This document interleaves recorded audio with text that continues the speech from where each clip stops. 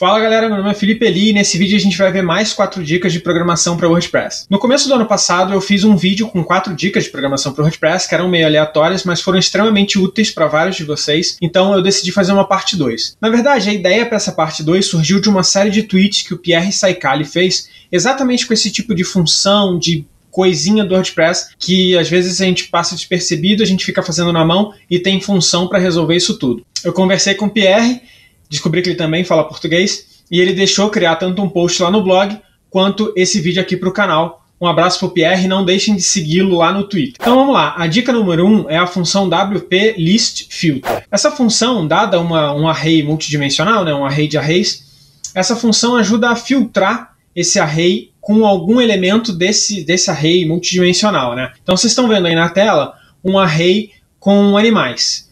E aí a gente vai filtrar pela classe dos animais. Então, se a gente perguntar quais dos animais tem a classe mamífero, ele vai retornar ali cachorro, gato, morcego, tirando o falcão e o crocodilo da lista.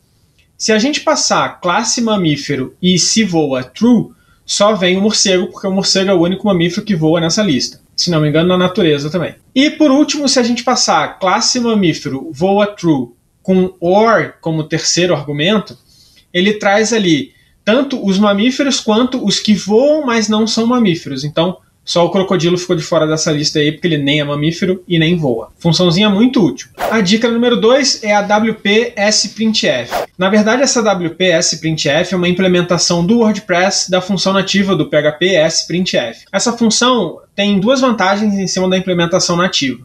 A primeira é que ela traz um filtro que você pode usar, que é o filtro WP underscore sprintf. Você pode criar marcadores novos com isso, mas ela já vem com um marcador adicional logo de cara, que é o %L. Esse marcador serve para você incluir listas num, num string qualquer, que ele vai separar por vírgulas e no final vai colocar o E em português, né? Então, se a gente pegar essa chamada aí, né, WP sprintf, passando lista de animais com esse marcador %L, com um array como segundo parâmetro, esse array vai virar uma lista ali com as vírgulas e o E entre o falcão e o morcego, que são o penúltimo e o último elemento. Muito útil quando a gente tem listas e ficar fazendo implode com string, depois tem que ficar trocando a última vírgula e tal. Normalmente a gente fica fazendo isso tudo na mão, mas tem uma função do WordPress que faz isso logo de cara. Terceira dica, WP List Sort, dá para ver aí que eu gosto bastante dessas funções utilitárias de array.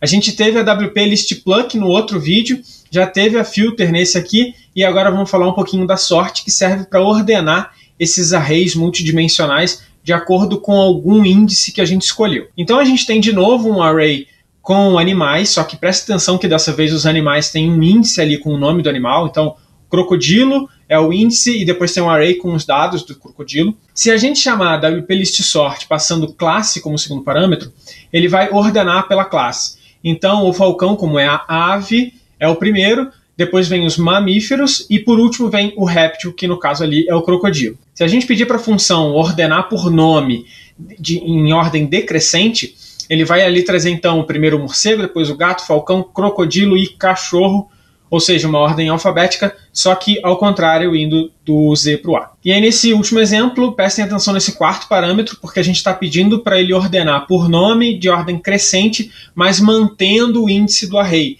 Então, o cachorro ali, o primeiro, o índice do, do, da entrada do cachorro nesse novo array também é cachorro, ele manteve o índice ali.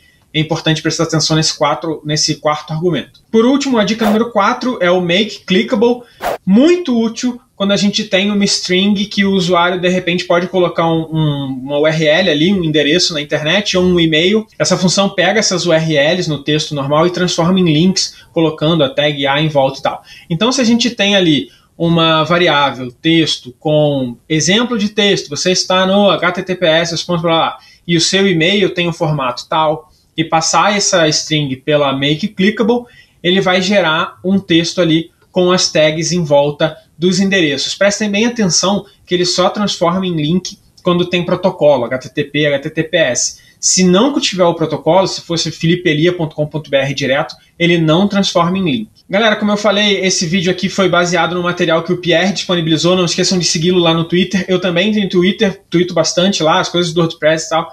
Não deixem de me seguir por lá também.